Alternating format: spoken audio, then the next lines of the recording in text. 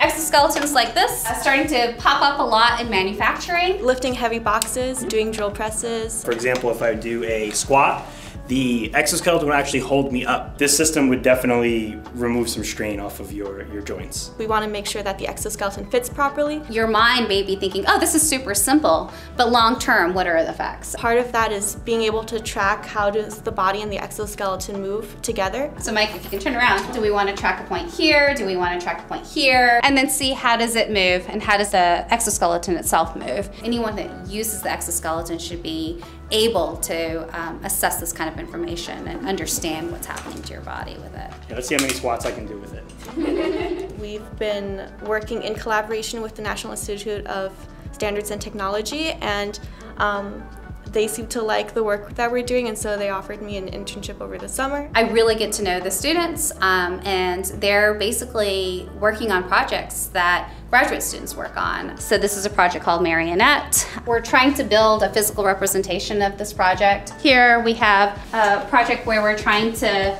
design and build um, our own hand. Our goal is to teach this hand to play rock, paper, scissors. They get to experiment with the latest technology. They get to think about some of the, the most amazing algorithms that are coming about and we get to have a conversation.